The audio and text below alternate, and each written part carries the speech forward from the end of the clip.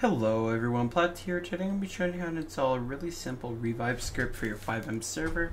You can also add an admin revive as well. So the first thing you want to do is head over to the uh, GitHub that will be in the description below. Just do the download.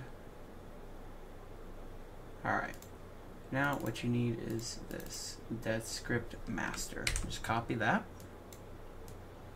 Just go ahead and open up your four resources and I am not in the right server. Sorry about that. Alright. I'm going to go to your resources, or actually, you're going to want to open up your server CFGs for now, but go into your resources. If you haven't already, create a resource folder called scripts.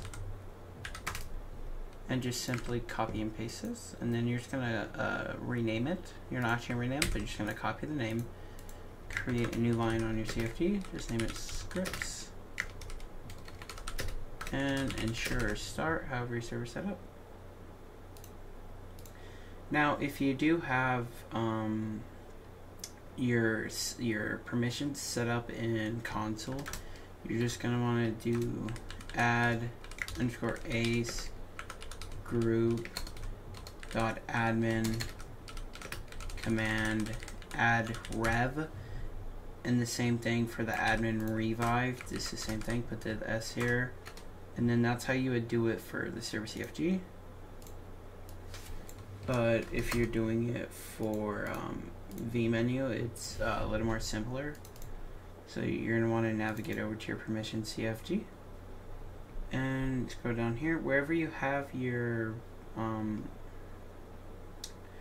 your um, your permission setup for moderators, you, you just want to do add a group dot admin and then uh, add rev or revive dot add rev or uh, we're just gonna do command again. Command dot add rev and then allow and then the same thing for add res And then to get the actual, um, to change the revive time and all that and the commands for it, just go back over to it and you're going to want to open up the client.